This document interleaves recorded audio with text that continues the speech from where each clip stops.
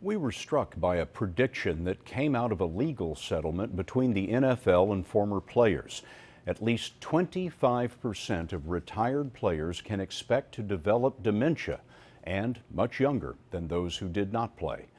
We asked Dr. Jon LaPook to tell us what's being done to help the players. And there's my old coach, Weeb Ewbank.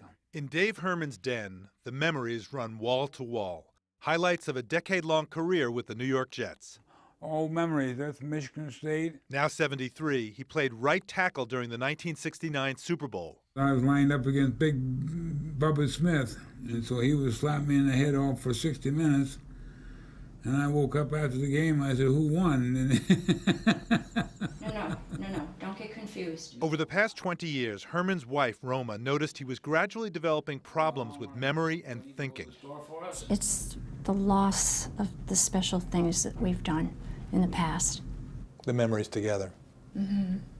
This shows that the hippocampus is damaged on both sides. Neurologist Dr. Sam Gandy of Mount Sinai Hospital in New York is one of Herman's doctors. Uh, he thought he had Alzheimer's disease. A panel of us who saw him couldn't agree on his diagnosis, whether he had Alzheimer's disease or, or CTE.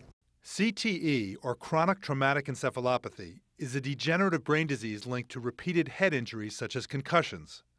Abnormal tangles of a protein called tau help make the diagnosis, and until now, the only way to find them was at autopsy. This shows a Dr. Gandy performed an experimental PET scan that can detect the tangles in living patients to try to determine if Herman had CTE. A different scan had ruled out Alzheimer's. Herman's scan was positive for those tau tangles. The diagnosis was CTE. So that damage is caused by physical activity or is it caused by just age? In your situation, I think the best explanation is it's from the recurrent head injury.